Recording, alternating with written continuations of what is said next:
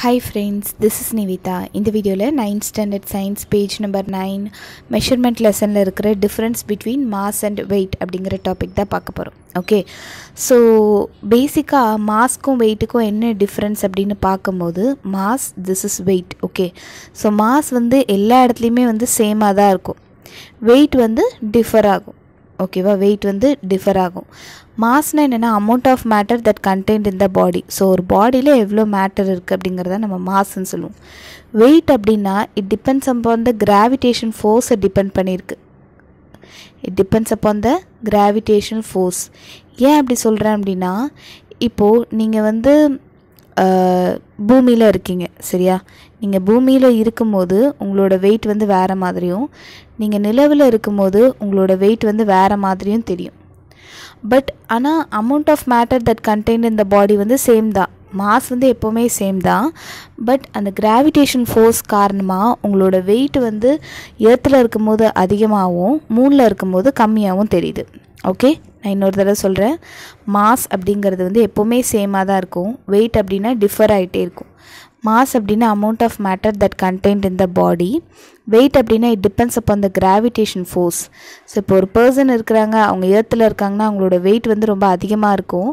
அதே அவங்க மூணில் இருக்காங்கன்னா அவங்களோட வெயிட் வந்து கம்மியாக இருக்கும் பிகாஸ் மூணில் வந்து கிராவிடேஷன் ஃபோர்ஸ் வந்து கம்மி. ஓகேவா? ஸோ இப்போ நம்ம வந்து இங்கே கொடுத்துருக்கிறது படி பார்க்கலாம் மாஸ் வந்து ஸ்மால் எம்மில் சொல்லுவாங்க. It's a quantity of matter content in a body கரெக்டாக ஸோ எவ்வளோ மேட்ரு வந்து அந்த பாடியில் இருக்குது அப்படிங்கிறத மாஸ்ன்னு சொல்லுவாங்க. வெயிட் வந்து small W is the normal force N exerted by the surface on the body அதாவது வெயிட்டுன்னு சொல்லும்போது எனக்கு என்ன ஆகும்னா இப்போ ஒரு பர்சன் வந்து இந்த லேண்டில் நிற்கிறாங்க அப்படின்னா இந்த லேண்ட் என்ன பண்ணுன்னா ஒரு பர்டிகுலர் நார்மல் ஃபோர்ஸை வந்து எக்ஸர்ட் பண்ணும். ஓகேவா ஸோ அப்போ வெயிட் அப்படிங்கிறது என்ன சொல்கிறாங்க is a normal force exerted by the surface on the body to balance the against the gravitation pull on the object இப்போது இங்கேருந்து இங்கே கீழே வரும்போது எனக்கு கிராவிடேஷன் ஃபோர்ஸ் கிடைக்கும். கரெக்டாக இங்கேருந்து இங்கே வரும்போது எனக்கு கிராவிடேஷ்னல் ஃபோர்ஸ் ஸோ அதுவே வந்து இந்த இடத்துல பார்த்திங்கன்னா இங்கே நிலத்துல இருந்து மேலே இது பண்ணுறது வந்து நார்மல் ஃபோர்ஸ் உங்களுக்கு இதெல்லாமே புதுசாக இருக்கும். பட் ஸ்டில் நீங்கள் பெரிய கிளாஸில் வந்து இதை பற்றி நிறைய படிப்பீங்க. ஓகேவா ஸோ ஜஸ்ட் ஞாபகம் மட்டும் வச்சுக்கோங்க. கிராவிடேஷன் ஃபோர்ஸ்னால் புவி ஈர்ப்பு சக்தி. ஸோ மேலேருந்து கீழே நோக்கி இருக்கும் நார்மல் ஃபோர்ஸ்னால் கீழேருந்து மேல் நோக்கி போகும். இங்கே பாருங்கள் என்ன சொல்லியிருக்காங்க? Weight W is the normal force exerted by the surface on the body to balance against the gravitation pull of the object so இந்த கிர இப்போது ஒரே ஒரு ஃபோர்ஸ் மட்டும் இருந்ததுன்னா என்ன ஆகும்? நம்ம கீழே விழுந்துடும் ஏன்னா இப்போ கீழ் நோக்கி இருக்கிற ஒரே ஒரு ஃபோர்ஸ் தான் கிராவிடேஷன் ஃபோர்ஸ் அதுக்கு ஆப்போசிட்டாக தான் உங்களுக்கு என்ன கிடைக்கணும்?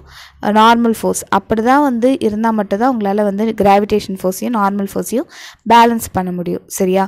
இப்போ இங்கே என்ன சொல்கிறாங்கன்னா வெயிட்டோட வேல்யூ ஈக்குவல் டு நார்மல் ஃபோர்ஸுங்கிறாங்க இங்கே பாருங்கள் weight is the normal force okay normal force எங்கேருந்து வருது? Exerted by the surface on the body to balance the gravitation pull on the object so பேசிக்காக வெயிட்னு சொல்லும்போதே உங்களுக்கு வந்து கிராவிடேஷன் புல் அப்படிங்கிற ஒரு விஷயம் வந்து வந்துடுது okay. In case of spring scale the tension in the spring balances the gravitational pull of the object. அதாவது நம்ம வந்து ஸ்ப்ரிங் ஸ்கேல் அப்படின்றது ஒன்று பார்த்தோம். ஸ்ப்ரிங் இருக்கும் இங்கே வந்து ஹூக் இருக்கும். அது மேலே வந்து லைக் ஏதோ ஒரு ஆப்ஜெக்டை வந்து எனக்கு மாட்டி விடும்போது எனக்கு என்னாகும்? அது வந்து கீழே நோக்கி இழுக்கப்படும் அப்படின்றது எல்லாமே பார்த்தோம். அப்போ ஸ்ப்ரிங் ஸ்கேலில் பொறுத்தவரை tension in the spring balances the gravitation pull of the object அப்படின்னு சொல்கிறாங்க ஸோ டென்ஷன் அப்படின்னா லைக் இது வந்து வெயிட் கொடுக்குறது இல்லையா? அதனால் டென்ஷன் வந்து கீழ் நோக்கி இருக்கும். அந்த ஒரு ஃபோர்ஸை தான் டென்ஷன் சொல்லுவாங்க. ஸோ அந்த ஆர் கீழே நோக்கி இருக்கும். இது வந்து எதை பேலன்ஸ் பண்ணுது அப்படின்னா gravitation pull of the object வந்து பேலன்ஸ் பண்ணுது. When a man is standing on the surface of the earth or ஃப்ளோரில் the surface exerts a normal force on the body which is equal to the gravitation force இப்போ தான் நான் சொன்னேன். ஒரு person வந்து இங்கே தரையில் நிற்கிறாங்க அப்படின்னா அவங்களுக்கு வந்து gravitation force equal to the normal ஃபோர்ஸாக இருக்கும் அப்படின்னு சொல்கிறாங்க gravitation force acting on the object is given by MG so gravitation ஃபோர்ஸோட formula என்ன அப்படின்னு பார்த்தீங்கன்னா உங்களுக்கு வந்து எம்ஜி அப்படிங்கிறது. ஓகே வேறு எம்முங்கிறது மாஸ் ஆஃப் த ஆப்ஜெக்ட் ஜிங்கிறது ஆக்சலரேஷன் டியூ டு கிராவிட்டி இதை பற்றி எல்லாமே நீங்கள் டீட்டெயிலாக படிப்பீங்க. ஓகே ஸோ கிராவிடேஷன் ஃபோர்ஸோட ஃபார்முலா என்னது? M into G so mass ஜினா வந்து ஆக்சலரேஷன் டியூ டு கிராவிட்டி இப்போ இங்கே பாருங்கள் if you man has a mass of fifty KG on the earth then what is the weight so அவனோட mass வந்து fifty KG அவனோட weight தான் என்னென்னு கேட்குறாங்க வெயிட்டோட ஃபார்முலா என்னென்னு பார்த்தீங்கன்னா M into G so mass up into acceleration due to gravity அதனால் fifty into acceleration due to கிராவிட்டியோட இது வந்து நீங்கள் ஞாபகம் வச்சுக்கணும். அது வந்து ஒரு கான்ஸ்டண்ட்டான வேல்யூ ஓகேவா நைன் பாயிண்ட் எயிட் அப்படின்னு வரும். ஸோ நான் ஃபஸ்ட்டு என்ன பண்ணுறேன் அப்படின்னா ஃபிஃப்டி இன்ட்டு நைன் பாயிண்ட் எயிட்டுன்னு பண்ணுறேன் ஸோ எயிட் ஜீரோ சால் ஜீரோ எயிட் ஃபைவ் சால் ஃபார்ட்டி நெக்ஸ்ட்டு நைன் ஜீரோ சால் ஜீரோ நைன் ஃபைவ் சால் ஃபார்ட்டி ஃபைவ் ஸோ கேல்குலேட் பண்ணும்போது ஹியர் இந்த இடத்துல வந்து actually fifty into nine point eight இருக்கா?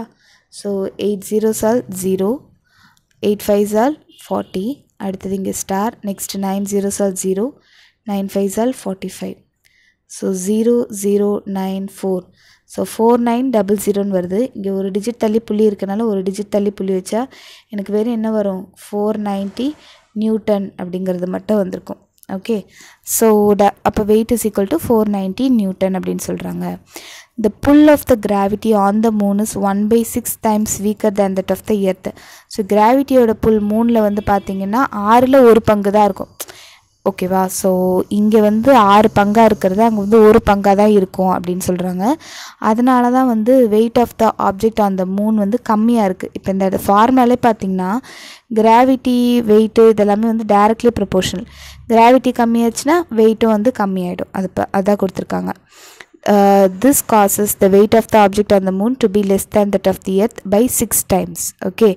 Acceleration due to gravity on the இப்போ வந்து நம்ம எப்படி நிலத்தில் வந்து நைன் பாயிண்ட் எயிட்னு சொன்னோம் இந்த ஆக்சிலேஷன் டியூ டு கிராவிட்டி அதே மாதிரி மூனில் வந்து ஆக்சிலேஷன் ஆன் த மூன் வந்து one point six three MS power minus two அப்படின்னு வரும் ஓகே இவங்க என்ன கொடுக்குறாங்கன்னா if the mass of the man வந்து செவன்ட்டி கேஜி வெயிட் வந்து எர்த்தில் இருந்தாங்கன்னா மாஸ் வந்து செவன்ட்டி கேஜி அப்போ அவங்களோட வெயிட் வந்து சிக்ஸ் எயிட்டி சிக்ஸ் அப்படின்னு வரும். Because seventy into nine point எயிட்டுன்னு பண்ணுவோம். ஓகே ஸோ ஆக்சுவலி மாஸ் வந்து என்ன சொல்கிறாங்க செவன்ட்டின்னு சொல்கிறாங்க அப்போ அவங்களோட வெயிட் என்னவாக இருக்கும்னா செவன்ட்டி இன்ட்டு நைன் பாயிண்ட் எயிட்டுன்னு வரும். ஸோ எயிட் ஜீரோ சால் ஜீரோ செவன் எயிட் சால்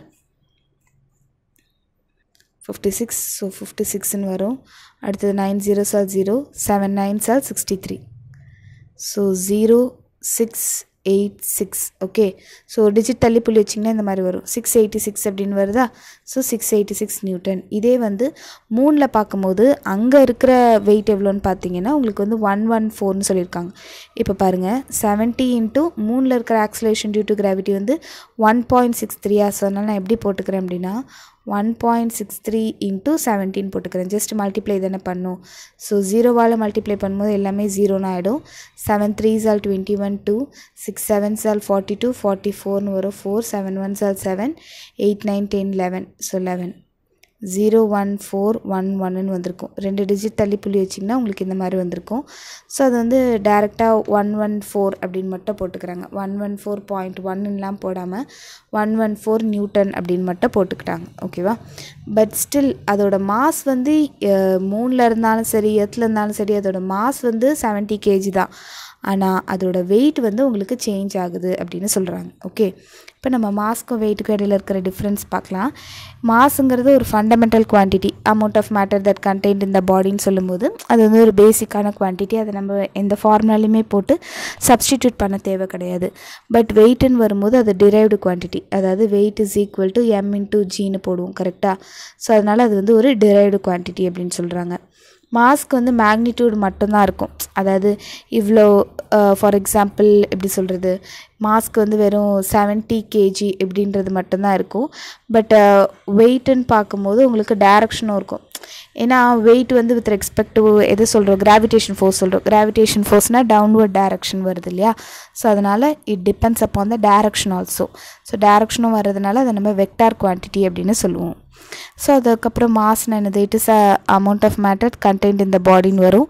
வெயிட்னா normal force exerted by the surface on the object against the gravitation pull அந்த கிராவிடேஷன் புல்லை தாண்டி நம்ம ஒரு நார்மல் ஃபோர்ஸ் கொடுக்குறோம் இல்லையா? அதுதான் வந்து வெயிட் அப்படின்னு சொல்கிறாங்க ஓகே அடுத்தது மாசை பொறுத்தவரை அது எல்லா இடத்துலையுமே சேமாக தான் இருக்கும். பட் வெயிட்டை பொறுத்தவரை அது ஒவ்வொரு இடத்துக்கும் வந்து சேஞ்ச் ஆகிட்டே இருக்கும். இது வந்து ஃபிசிக்கல் பேலன்ஸை யூஸ் பண்ணி மெஷர் பண்ணுவாங்க. இது வந்து ஸ்ப்ரிங் பேலன்ஸை யூஸ் பண்ணி மெஷர் பண்ணுவாங்க. பிகாஸ் அதுலேயே வந்து அந்த கிராவிடேஷன் புல் அந்த கான்செப்ட்லாம் ஸ்ப்ரிங் பேலன்ஸில் வரும். இதோட இது வந்து கிலோகிராம் கேஜின்னு சொல்லுவாங்க. இதில் வந்து Newton because it depends up அந்த gravitation force that kind of force right so அதனால் வந்து ஃபோர்ஸ்னாலே நம்ம நியூட்டன்னு சொல்லுவோம். அதனால தான் வந்து வெயிட்டை வந்து என்னென்னு சொல்கிறாங்க நியூட்டனில் சொல்கிறாங்க ஓகே இங்கேயே பார்த்தீங்கனாலே தெரியும். உங்களுக்கு வந்து மாஸ் வந்து அவங்களே வந்து கிலோகிராமில் கொடுத்துருப்பாங்க. வெயிட்டை வந்து நம்ம நியூட்டனில் எக்ஸ்ப்ரெஸ் பண்ணியிருப்போம். ஸோ தட்ஸ் இட் ஓகே நீங்கள் வந்து சும்மா அந்த கான்செப்ட் மட்டும் ஞாபகம் வச்சுக்கோங்க. வெயிட்னா கிராவிடேஷன் புல்லோட வரும். மாஸ்னா வந்து amount of matter that contain in the body thank you for வாட்சிங் இந்த வீடியோ உங்களுக்கு பிடிச்சிருந்தா லைக் பண்ணுங்கள் ஷேர் பண்ணுங்கள் சப்ஸ்கிரைப் மை சேனல் தேங்க்யூ